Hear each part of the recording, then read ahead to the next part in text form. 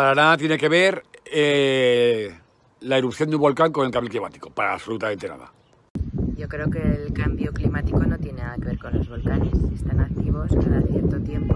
Creo que no tiene ningún tipo de relación la erupción de un volcán con el cambio climático, creo que son dos cosas diferentes. Pero que nunca se apagan, quedan latentes, acaso queda, digamos, apagado, por decirlo entre comillas, el cráter, pues el del magma sigue eh, encendido pues muy abajo, eh, pero latente.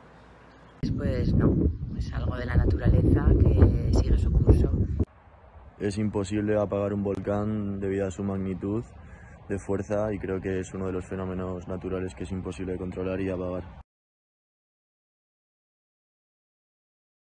Eh, no, no nos esperábamos que el volcán fuera a erupcionar eh, y la verdad que fue bastante complicado porque al final uno pues te entra el pánico y en el momento pues no sabes muy bien qué hacer.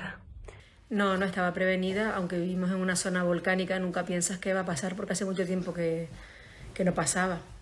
No, estaba, no estábamos avisados de que podría ocurrir, pero no pensábamos que iba a ocurrir y menos de tal magnitud. Bueno, nos mandaban ropa, eh, comida, mm, la verdad, un montón de ayuda también psicológica, la verdad que bastante bien. He recibido ayudas, mm, las que más rápido han llegado sobre todo han sido las de particulares, que ha sorprendido cómo la gente se ha volcado. Y sobre todo ha habido muchas ayudas hacia los animales, cosa que me ha sorprendido para rescatar animales, para alimentarlos. Las ayudas procedentes de instituciones públicas tardan más por las gestiones que hay que realizarse.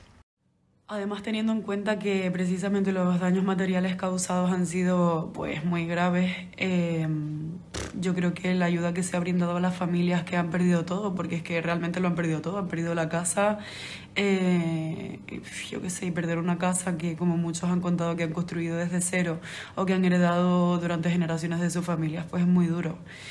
Em, no, pues el impacto de haber perdido pues parte de tu casa, la verdad es que es bastante duro. Al final, pues bueno, ves a gente que sí que es verdad que lo ha perdido todo, tanto su trabajo porque han perdido las cosechas como bienes pues importantes y tal, pues la verdad que ha sido bastante complicado. El impacto que ha tenido en mi vida es sobre todo aprender a valorar eh, que, que todo es muy efímero y que lo que hoy tienes puede desaparecer, te crea un poco de inseguridad. Mm, obviamente mi vida se ha visto muy afectada. Yo he tenido que mudarme a otra isla, o sea, buscar ayuda en otras islas, ya que mm, el resto de Islas Canarias ha estado, o sea, tiene un comportamiento muy solidario con La Palma, pero es verdad que es duro, o sea, que, que todos los sitios por donde yo pasaba de pequeña pues ya se los haya comido la lava, haber tenido que dejar un montón de gente atrás.